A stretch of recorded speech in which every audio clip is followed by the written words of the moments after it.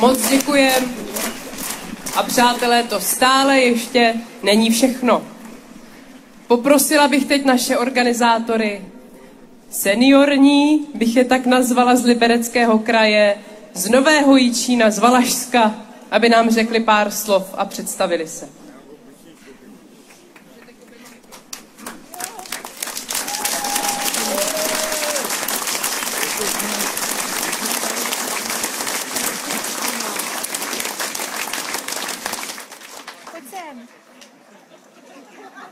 My jsme pořád spolu a on mě zase opustil teďka. Dovolte, abychom se představili. Jsme manželi Janíkovi a tohle je náš velký kamarád Luboš Sazovský. Přijeli jsme k vám Přijeli jsme k vám z Nového Jičína, ale vezeme vám taky kus pozdravu z Valašska, protože to je naše krajina. Jak vidíte, to horko nás prostě nepřesvědčilo. A navíc, kdybychom sečetli, kolik je nám dohromady let, tak věřte nebo nevěřte, je nám 211.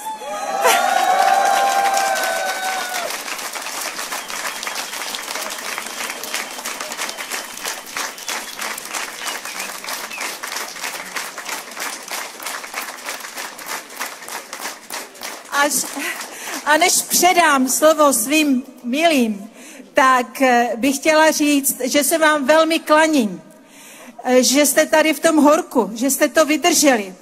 A to, co tady zaznělo už tolikrát, vystoupit z komfortní zóny, věřte, že my dva s Ivanem jsme si představovali úplně jiný důchod.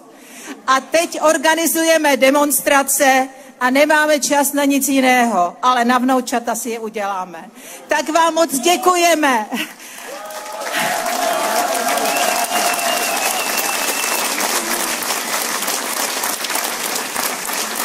Přátelé, já vás taky zdravím, ale my jsme přijeli z toho velkého východu naší republiky i s velkou prozbou, abyste každý z vás poprosili a požádali a pomohli ty důchodce, kteří se neorientují v politice a jsou strašně a strašně spokojení, že dostali takzvaný dárek, ať už to bylo rouškovné nebo ubohých 300 korun k důchodu že to není v žádném případě dárek, který potom dají svým vnukům, ale že je to dluh, který budou muset vnuci a jejich eh, děti ještě dlouho, dlouho splácet, tak aby na to mysleli u těch voleb a zvolili tu správnou, správnou cestu.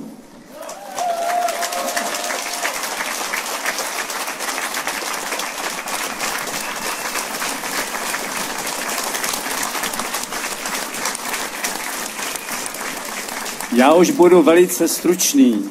Jeden moudrý člověk řekl, nakrmit ty chudé není problém, ale nakrmit ty bohaté chamtivce, tak to velký problém je, protože ty nemají nikdy dost.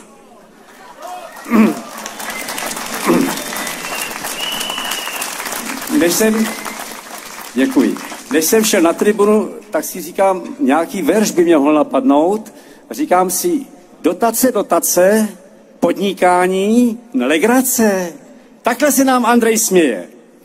Takže my tak nenecháme, chceme změnu a už to tady bylo řečeno, ta změna může být, když půjdeme všichni k volbám a když to dokážeme, tak nám budou vládnout ti, co budou hledět na náš prospěch a ne na svůj prospěch.